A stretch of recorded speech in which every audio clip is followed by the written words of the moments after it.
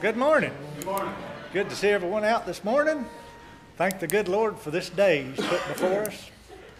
And I tell you what, as, as the world rages on, we're in here going to worship the Lord Jesus Christ this morning. Amen. Right. And let's do that. Brother John, it's good to see you this morning. Would you lead us in prayer, please? Father, thank you so much for your mercy, your goodness, Lord, your loving us. Lord, we just pray, meet with us this morning, we invite you to speak to our hearts, to administer to us, it's exactly what we need. Father, as we sing songs, Lord, help us to glorify your name because you're worthy. Lord, I just pray that you will work in my Yes, heart. Lord. For Those that are listening, Father, we need you, we can't live without you, we ask this in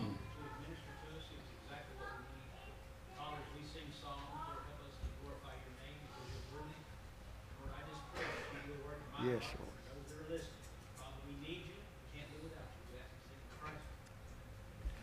Amen. Reading a little bit this morning about the infinite knowledge of God. And, uh, you know, with all the madness going on, it, it's hard. It's, it's, it's hard to comprehend it all because it's on one corner, then another, and then, and then several between. But you know what? The Lord's got all that. He knows the beginning from the end. He knows where we're at. And I think this is prophecy, folks. I think, I think we're, we're watching it unfold. And uh, it, it boggles our mind, but let me tell you something. God doesn't take a step back. Amen? Amen. He is right on top of all of it. And I thank the Lord for that, that I can rest assured that the Lord Jesus Christ knows what's going on and has it all under His control. And with that said, let's get our All American Church hymnal. Turn to page number 153 I Know Who Holds Tomorrow. Page 153.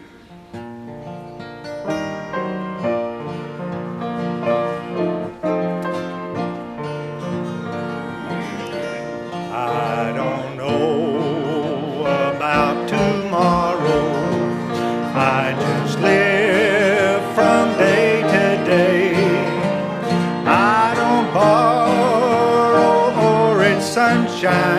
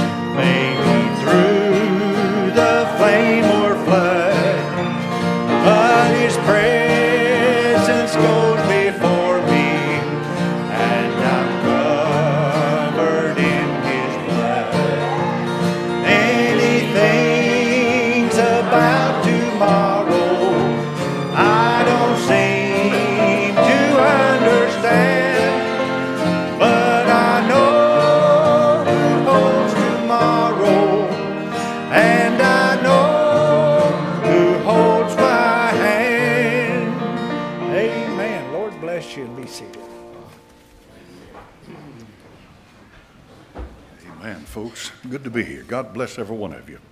This may be the greatest day because He may come. Amen.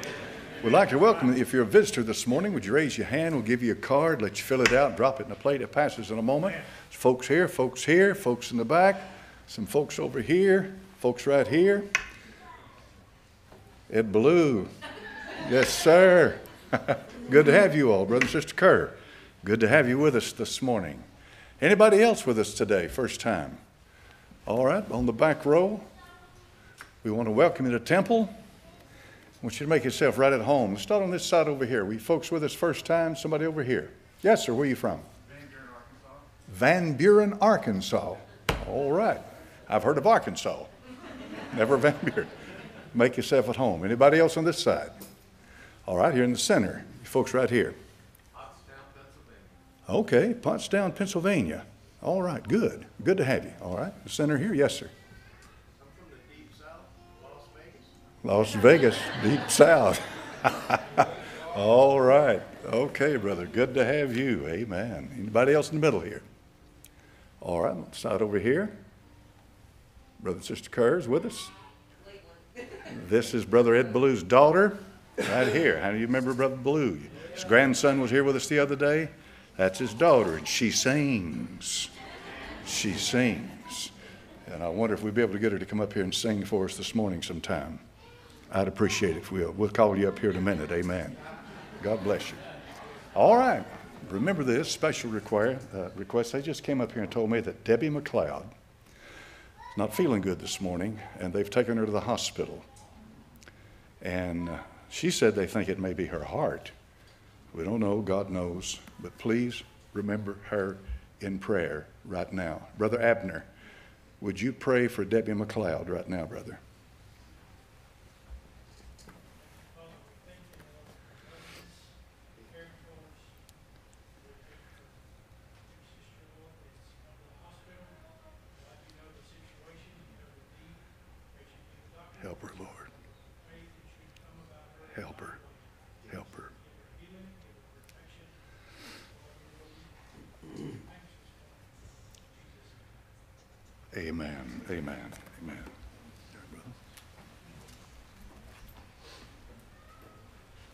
I'd like to invite the choir up this morning. We'll be singing out of the folder, page number 17, Jesus is coming soon. All that will, come fill up the choir.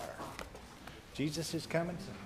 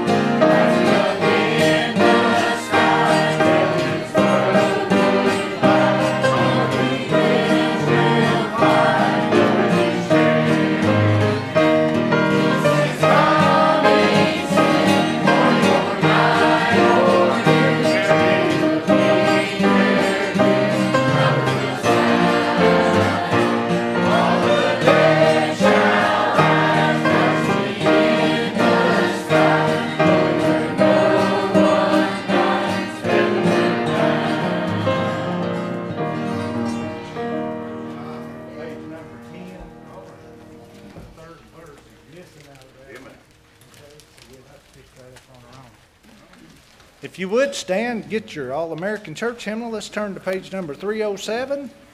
Revive us again.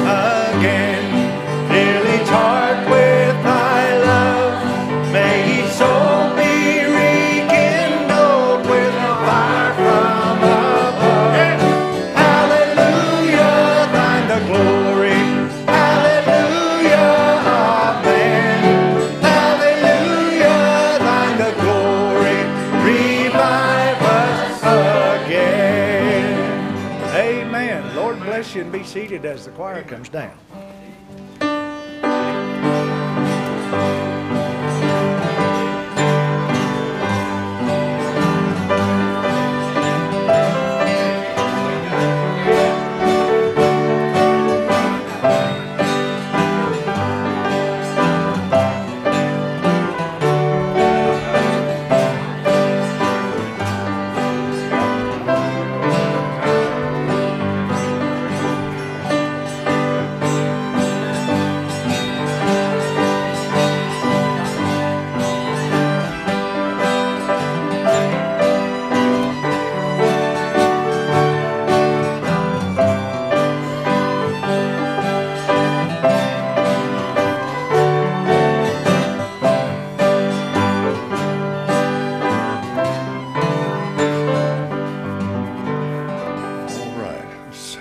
Ushers come forward, take a morning offering.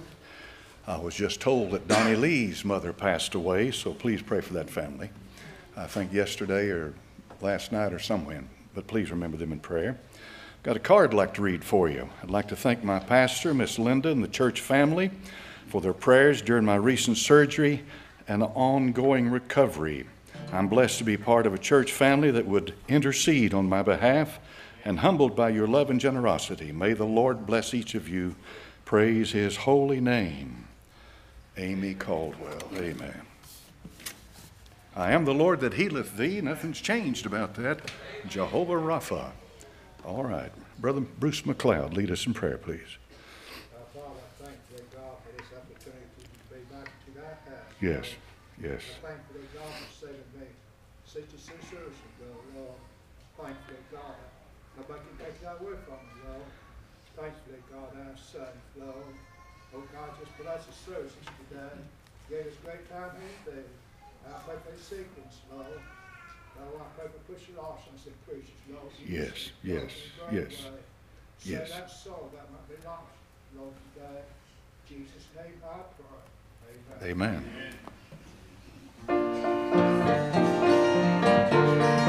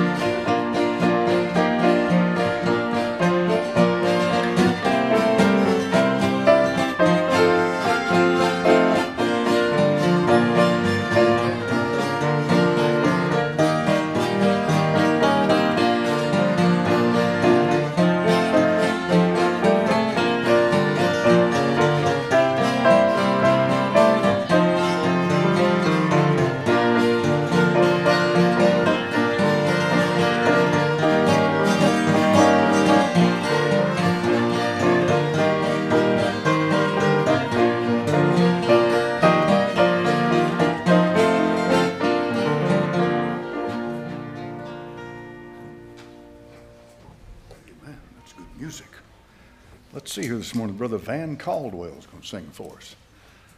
I'd like to invite him up. And then Miss Tina Kerr. Will you sing after him?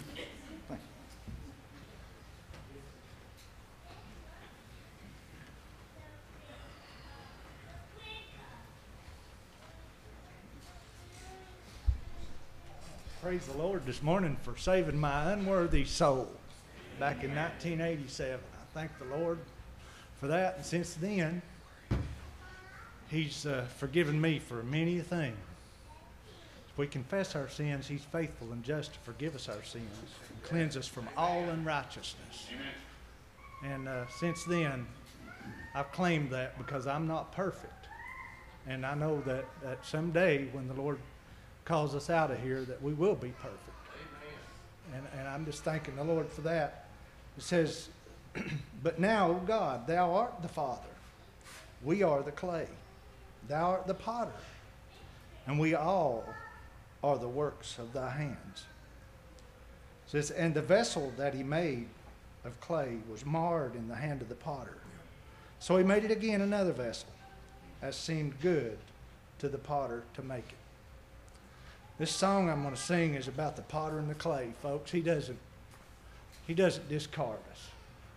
He fixes us. If we're his, he works on us. He fixes us. Y'all pray for us as we do this.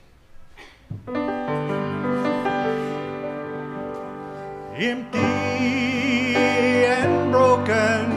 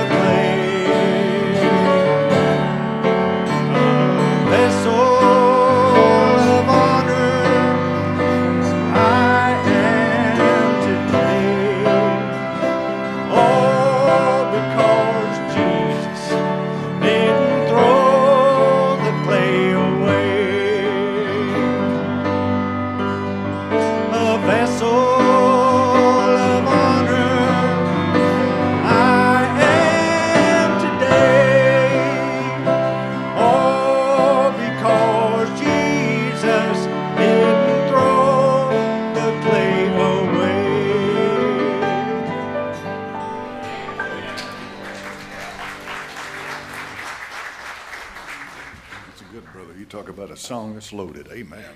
Sister Kerr, would you come up and sing for us this morning?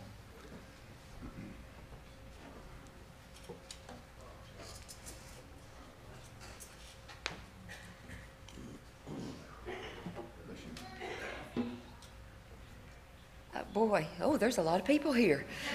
Okay. Okay, I'll start breathing here in just a minute. uh, this place is very special. I told Sister Lawson, I've not been in the new sanctuary. Uh, last time I was here, of course, the best preacher in the world was preaching, and it was an old, and it was my daddy. But I'm glad to say that Brother Charles Lawson was my dad's dearest friend. He loved Brother Charles, and uh, the last memory I have of Brother Charles, he spoke, he preached. He didn't speak. He preached both my mom's and dad's funerals. And that's how dear Brother Charles was to my dad's heart and our families. And uh, uh, one day I was talking to a sweet little friend of mine, and well, I think she sent me a text and said, I went to this church today and man, I just enjoyed it so much. And they was talking about Brother Ed Blue. I think I think he knows your daddy. And I said, Well, where did you go? And she said, I went to Temple in Knoxville. I said, You're talking about Brother Charles Lawson.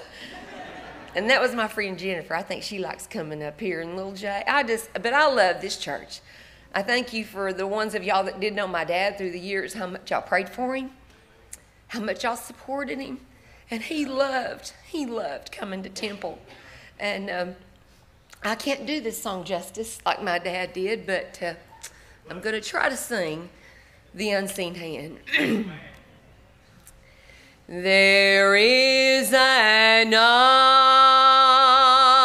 unseen hand to me that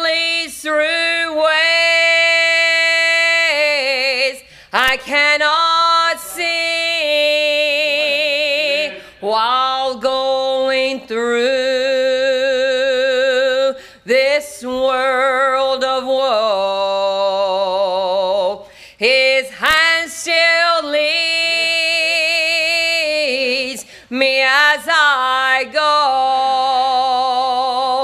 I'm trusting to the unseen hand that guides me through this old weary land. And some sweet day I'll reach that strand, still guided by the unseen hand. This hand has led through shadows drear, and while it leads, I'll have no fear. I know it will lead to that home where sin or sorrow e'er can come. I'm trusting to the unseen hand that guides me through this old weary land.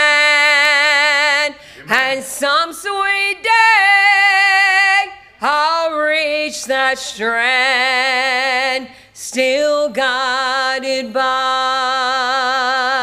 the unseen hand. This last verse was always my dad's favorite. Oh, I long to see my Savior's face and sing the story. I've been saved by grace, and there upon that golden strand, I'm gonna praise Him for His guiding hand. I'm trusting to the unseen hand that guides me through this all wearing land. And some sweet day I'll reach that strand, still guided by the unseen hand. And some sweet reach that strand, still guided by the unseen hand.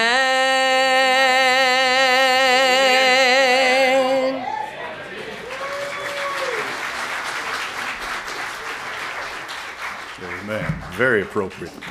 Good, beautiful. Brother Ballou loved that song. He'd sing it in here a lot. Amen, amen, amen.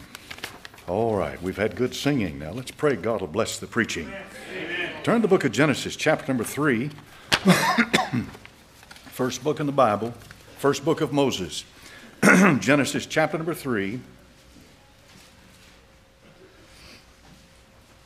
And verse number 20. And Adam called his wife's name Eve, because she was the mother of all living. Unto Adam and also to his wife did the Lord God make coats of skins and clothe them. Father, bless this holy book now. In Jesus' name, amen. You can be seated. If you've read your Bible, and I'm sure you have many times, book of Genesis, chapter 3 unfolds with Eve taking the forbidden fruit and leading it to her husband Adam. They both eat and come under the curse. Both of them are going to die. They died spiritually on the spot, and then 900 and something years later, Adam died. It's very important to understand, though, these are not just two people that lived in the past. These people represent something. The Bible talks about the uh, first Adam, then the last Adam. It talks about the first man, then the second man. It's important to understand that all of mankind God sees in one way, and that is today they're either a member of the body of Christ or they're not. And the first Adam was the man who brought into this world sin.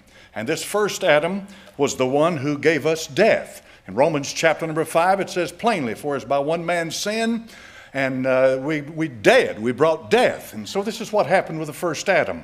But the last Adam brought life. And when he did, he brought life to all mankind. Every living human being that has ever walked the face of this earth has life in the Lord Jesus Christ. All they've got to do is accept it or reject him. And so Eve is the mother of all living. This is what he called her. This is a Hebrew word, Eve. For example, there's a town over there in Israel, it's called Tel Aviv.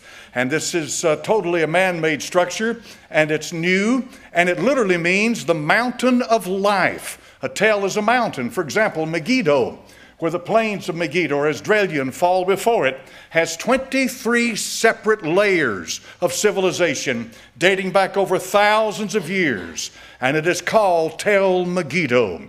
So here we have here in the book of Genesis, chapter number three, Eve, the mother of all living, showing up. She becomes a type of Christ, and she's also a type of this church or the, or the, or the city that comes down from God out of heaven.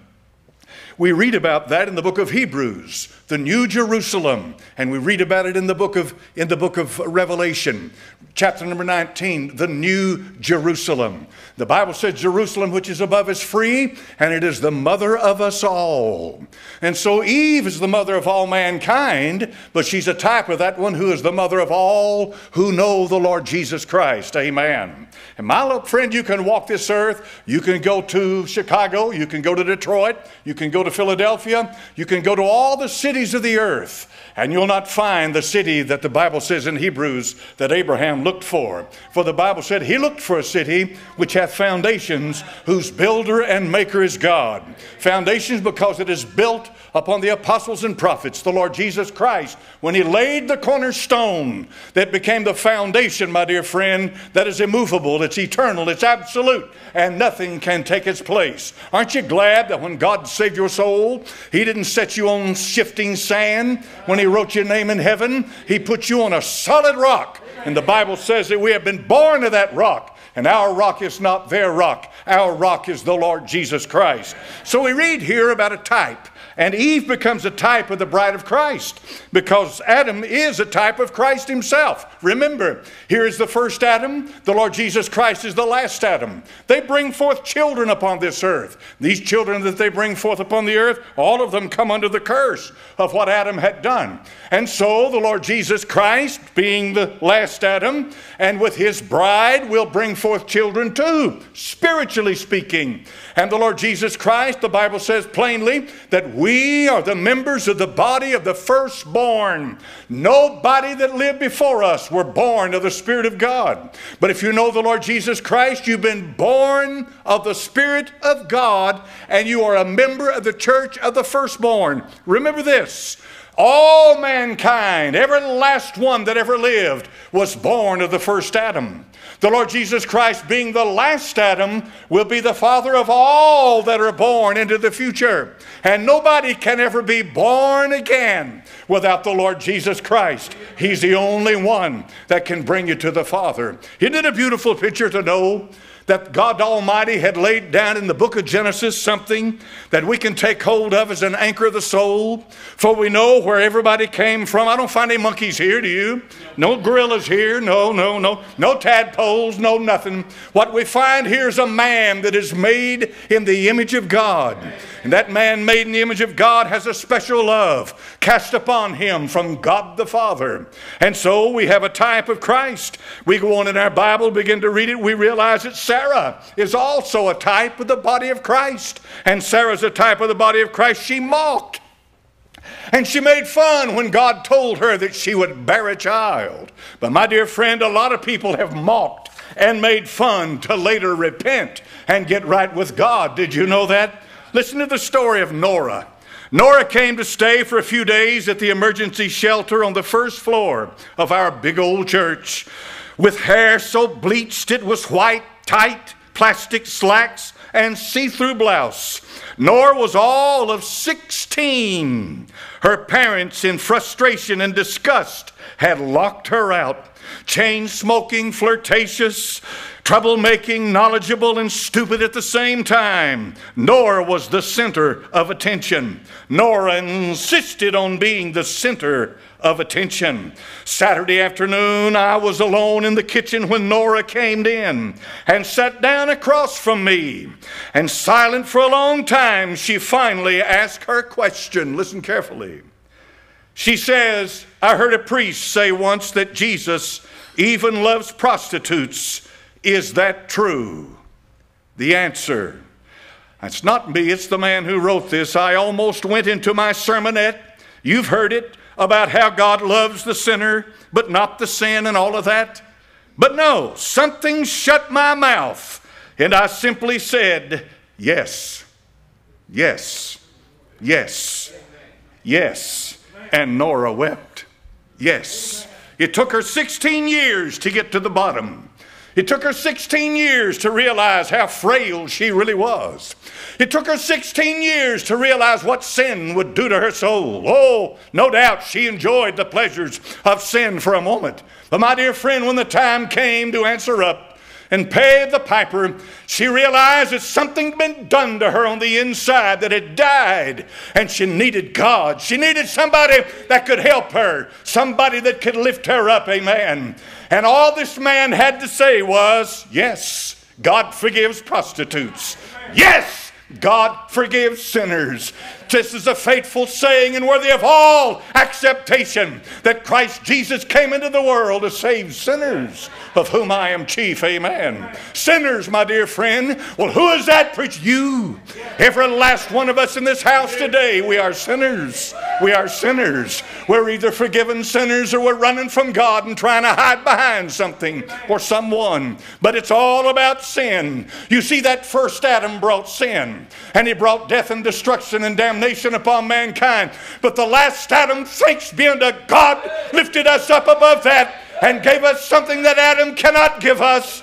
And the Lord Jesus Christ, when he arose from the dead, when he arose from the dead, he became the last Adam. For when he arose from the dead, it was my friend by him rising from the dead that he was able to give children after children after children after children. And my friend, let me tell you something. The Lord Jesus Christ has become my Savior and my Lord. He is the bridegroom. He is the bright and morning star. He is the rose of Sharon. Amen. He is the lily of the valley. He is all, my friend, that your soul ever longed for. If you ever one time really try Him, instead of talking about Him, try Him. Instead of looking at Him, get on your knees and cry out to Him. You'll find the Lord Jesus Christ the answer of your soul.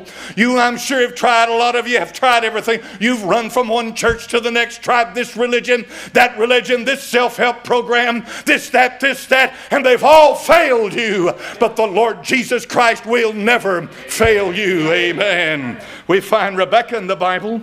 She wanted the birthright for her son. And Rebecca, of course, you know, understanding that there is a spiritual element to this. A lot of people, uh, when they come into the church or they get around religion or they get around the preaching, they think it's all about doing. A lot of people, that's all they've ever known is just do, do, do. Folks, it's not about doing, it's about being. And my friend, once you become what God Almighty wants you to become, then you all be created in Christ Jesus unto good works. But the works, my friend, follow the true faith of Christ. And so Rebecca, she wanted uh, the birthright. She wanted the birthright.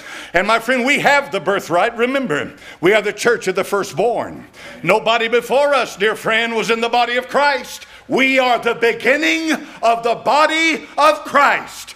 And when he comes to catch us up to meet him in the clouds, he's going to have something for us. Then we have Rachel. She's a type of the church, too. What about her, preacher? The Bible said on the way to Bethlehem, she was dying, she called her son Benoni. And she said, This is the son of my sorrow. But Jacob said, No, no, no, no. There's something about this child that's going to be altogether different. This is the hand of God and the way it moves. So he called him Benjamin or Benjamin, son of my right hand. You see, God can bring good out of bad. If you'll just put your life in the hands of God, He'll bring good out of it. He'll work all things together for good for those that love God, for those who are called according to the purpose. The Bible said the path of the just is as a shining light that shineth more and more to the perfect day. Amen. What's that perfect day? That's the day He catches you out of here. One of the best things about today, it's one day closer to the coming of the Lord Jesus Christ. Amen, amen, amen. And so we have Eve, Sarah, Rebecca, Rachel. These are the wives of the patriarchs, Abraham, Isaac, and Israel. And then we have the first one, who is Adam. And these are types of Christ, and they're types of the body of Christ. And thanks be unto God for his unspeakable gift. In the Old Testament, Israel is called the wife of Jehovah. And that's a separate message altogether, but she is. Israel is called the wife of Jehovah. But you see, the New Testament church is not called the wife of Jehovah. The New Testament church is called the bride of Christ. The bride of Christ. And this is very important to understand because if you understand that concept, you'll understand that the biggest part of the New Testament is written to or about the bride of Christ. That's what it's about. And when we get to the Apostle Paul, who's been born again on the road to Damascus, we'll find out that God reveals to him the purpose, nature, the composition of the bride of Christ, and he gives him the mysteries of the faith. And so the New Testament is all about the bride of Christ. If we get that right, we'll begin to understand what's going on. So the Old Testament Jew would choose his bride. The Apostle Paul says in the book of Second Corinthians, chapter number 11, and verse number 2, Are you in an arranged married this, marriage this morning, gentlemen, or did you choose your bride? How many chose your bride? Raise your hand. How many have a clue what I'm talking about? Raise your hand. You chose your bride. Second Corinthians, chapter number 11, and verse number 2. Now look at this thing. Second Corinthians 11, verse number 2. He said in verse 1 Would to God you bear with me a little my folly. Indeed, bear with me, for I am jealous over you with godly jealousy, for I have espoused you to one husband, that I may present you as a chaste virgin to Christ. The ministry of the Apostle Paul is directed toward the Lord Jesus Christ. His message was to the church of God. This is the bride of Christ. If you're born again this morning, you are a member of the bride of Christ. You're looking for the coming of the bridegroom. You're looking for the heavens to open and for him to come for you. Now, the first step in the Old Testament, there, the time of Christ, in marriage, is that there was a choosing to take place. And one of the greatest preachers of that in the old in the whole Bible is Abraham, when he says to his servant, he said, Listen, don't you take a bride of these Canaanites and this stuff around here for my son. You go to where we came from. And when you get there, you bring back a, a bride for my boy. And his name was Eleazar, and he was a servant of Abraham. And so he went off into the foreign country, into Syria. He went back, he went to that land, and there he found a well. And there was a young woman at that well. Her name was Rebecca. And he talked to her and he asked God to give him wisdom, show him where to go. You see, that's what the Holy Ghost is doing right now. You can hear me, okay, but you can turn me off. But you cannot turn the Holy Spirit off like that. Once He begins to speak to your soul and turn the light on, the light's on. And once that light comes on, then you got to do something with that light. Sure, you can find fault in me. Well, my goodness, friend, if I bared everything to you of what I've been, you probably wouldn't listen to me, but I am not what I used to be. That's what makes this altogether different. God has saved my soul. And so to Rebecca, he says, Will you go? Will you go? She answered, Yes, I'll go. And when she answered that, Yes, I'll go, she went back. And when she went back, the Bible says that, that Isaac was in the field and he was mourning the loss of his mother, Sarah. He was in the field mourning the loss of his mother. This is exactly what the Lord Jesus Christ was doing 2,000 years ago. O Jerusalem, Jerusalem, thou that stonest the prophets and killest them which are sent unto thee. He moaned his people, he moaned over them, he wept over Jerusalem. But God Almighty gave him something so precious and so near. He gave him the body of Christ. He gave him the church. He gave him his bride. And that bride has filled the place of loneliness for his mother Sarah. But listen carefully. The day will come, and it won't be long, I don't believe, before he'll see Sarah again. He'll see his mother again. And when he does, it'll be when the heavens open and he comes down to where she is and she'll see him again. You see, right now, Sarah has been put aside, but the body of Christ has filled the heart of the Lord Jesus and has brought joy to his soul, to his spirit, and to his being. He loves you, folks. He said in John chapter number 16, I go and prepare a place for you. If I go and prepare a place, I will come again to receive you to myself, that where you are, there you may be also. First stage in the bride of Christ is to choose the choice. The second stage in the bride of Christ in the ancient Hebrew, now we're talking about Hebrew culture, the second stage is that he leaves his bride. He leaves the one that he's chosen. He's espoused himself to her. He's given money to the family, to the mom and to the dad to show his sincerity. And they have come into an agreement between the two of them. She is his espoused bride. The Lord Jesus Christ, when he was born of Mary, the Bible said she was espoused. Amen. A spoused bride. And this simply means that they have a binding agreement that is as strong as a marriage itself that he's going to come back and he's going to get her. So he goes away. And he goes away to prepare a place for her. And he goes away to prepare a place for her because he's going to come back.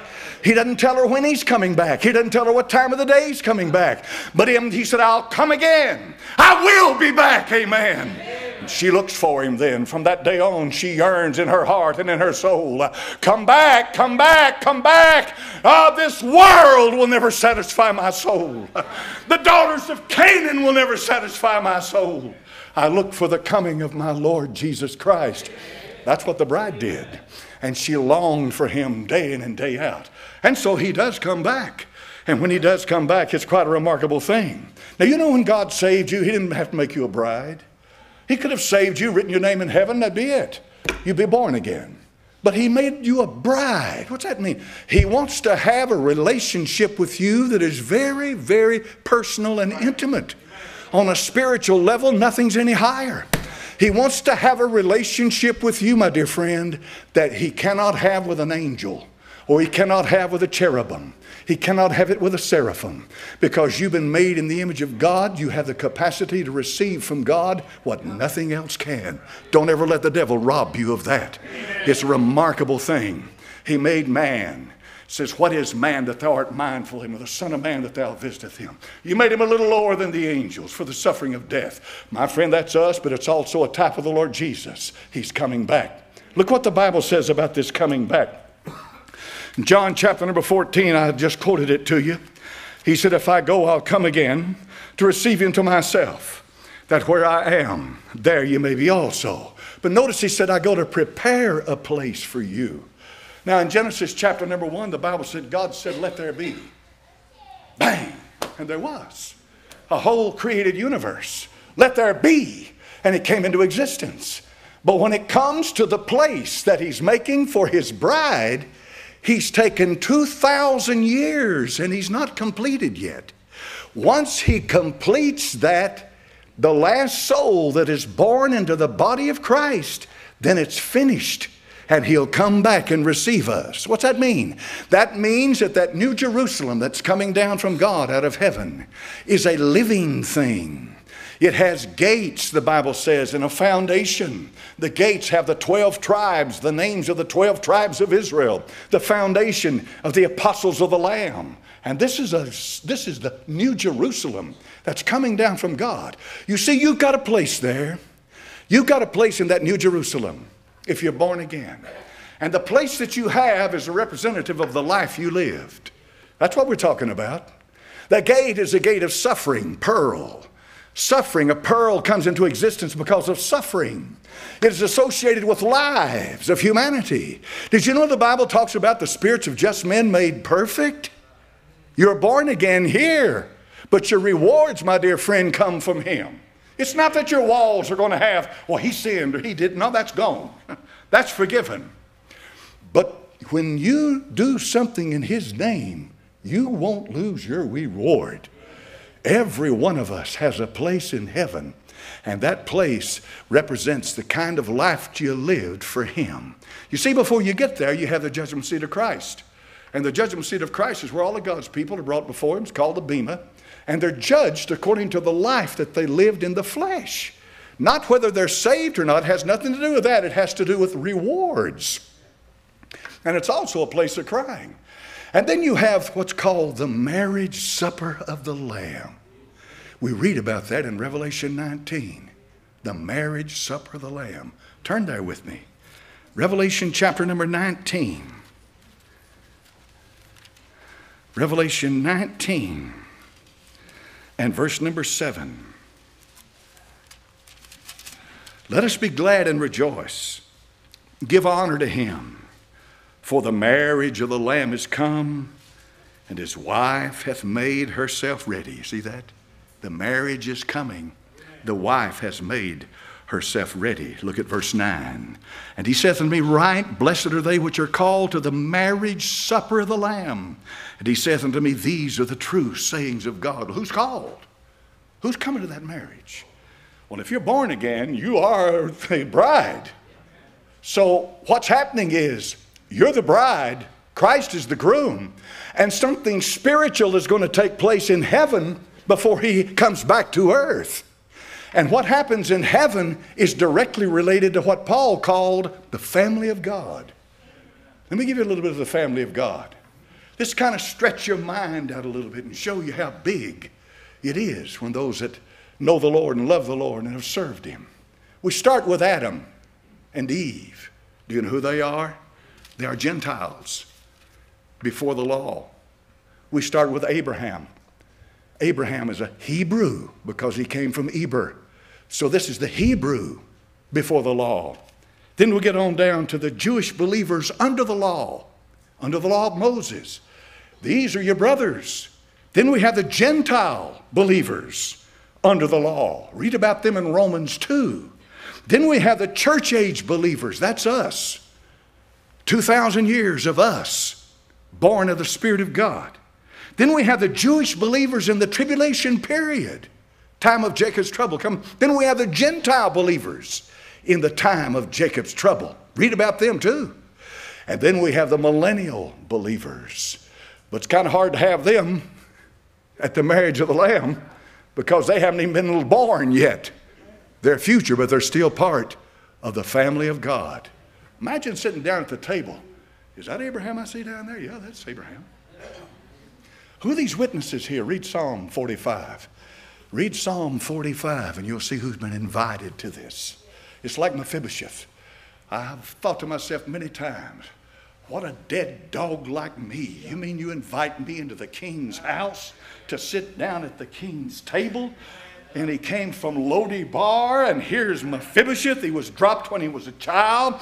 He was, he was hurt in his feet. He, he was an invalid, so to speak. And he knew it. He was, he was, he, he was a, this is one of the most humble men in all the Bible. I don't believe there'd be any proud boasting at that marriage. Look what immediately follows it. Look at Revelation chapter number 19. Revelation 19 and verse number 9. He's called to the marriage supper of the Lamb. Now look at verse number 11. Right immediately after this marriage supper, and I saw heaven opened, and behold, a white horse, and he that sat upon him was called faithful and true. And in righteousness he doth judge and make war. His eyes is a flame of fire and on his head were many crowns, and he had a name written that no man knew but he himself, clothed with a vesture, dipped in blood. His name is called the Word of God.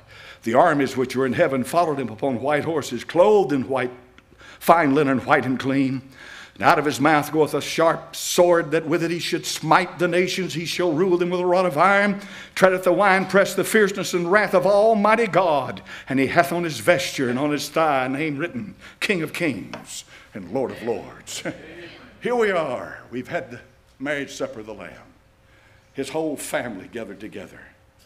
And then the father says to him, Son, and only the father knows, Son, go back time to go back. And brother, I'm going to tell you something. You talk about an exciting place and time. When he stands up, you'll stand up behind him, and he mounts a white horse. Don't let that bother you. Folks, he can bring anything into existence and simply speak the word and mounts a white horse, and we that are behind him on horses. And the heavens will roll back, no longer in the third heaven, but when the heaven rolls back, there you see earth and you come down as a man of war. You come down to take that which sin has corrupted. You come down to take the earth, take the kingdoms of this world, and they become the kingdoms of our Lord and of His Christ. You come down to take them. And then, once you've done that, they take the Antichrist and they cast him into a lake of fire. No wonder he's mad. He gets cast, he does. He cast into a lake of fire the beast and the false prophet. Satan is bound for a thousand years and put in the bottomless pit. And the Lord Jesus Christ has cleansed the earth. And he'll march the nations before him. He'll put the sheep nations on the right hand and the goat nations on the left hand. And the sheep nations are the ones that have treated Israel right. They've been good to Israel. So far, that's where America has been. And the goat nations are the ones like Iran and Saudi Arabia and the Arab countries that have come against Israel to destroy them, and Hamas and all the rest of the uh, terrorist organizations, them on the left hand, be turned into hellfire. That's proud. That's a, that, you know, we're looking at broad, sweeping things. And we will go into the millennium and we'll watch him reign for a thousand years. Boy, I'll tell you right now, I'm going to hang around. I'm going to watch him reign for a thousand years in his glorified body. Hallelujah to God. If you suffer with him, you'll reign with him. You'll have a glorified body. You say, Preacher Lawson, let me tell you something now this morning. You're just getting so upset and worked up over something like this. Let me tell you something. This has more substance to it than a ball game does. Amen. You hoop and holler and shout and jump up and down, turn flips and roll over over, a ball, over something that's going to last an hour and a half and it's going to be over with, and that's it. And, and if you lose, Lord, you're going to run around for four or five days with your head down and nobody can talk to you. But this is finished, written in stone. Nothing can change it. Hallelujah. Father, bless your word. Bless your word. Thank you for these dear folk who've listened. I pray that you bless it now. Write it in the hearts of the people, Lord. Give them ears to hear, Heavenly Father, a heart to receive it. In thy holy, blessed, righteous name I pray. Amen. All right, folks, go ahead and stand up. Brother's got something for us here. Page 137, the All American Church hymn. Amen. Turn your eyes upon Jesus. I didn't say a word about the rapture and all that preaching. You all know what the rapture is. Didn't say a word about it, but you know what it is. You know what it is. Heavens are open two times in the book of Revelation, chapter 4, chapter 19. First time it's open, the Apostle John is caught up into the third heaven. Next time it opens, the heavens roll back and Christ comes back down with his church. That means that for seven years, the church is nowhere on this earth. We're caught up with him in the clouds. Amen. Okay, brother.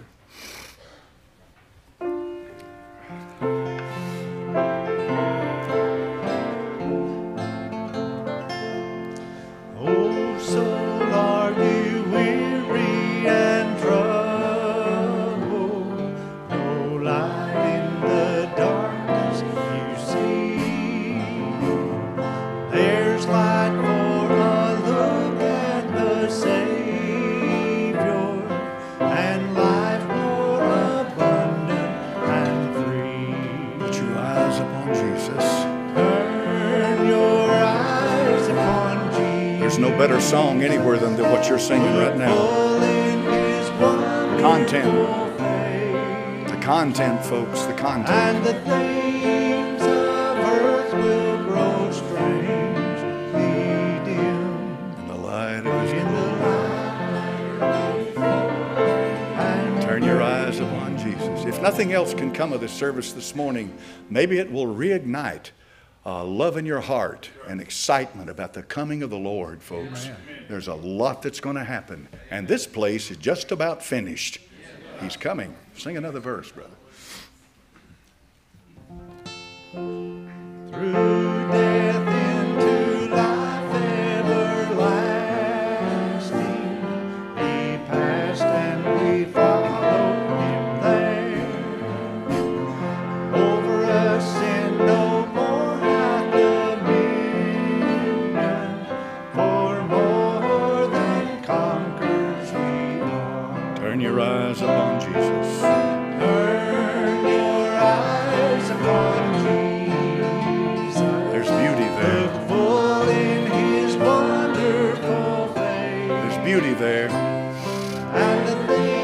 grace.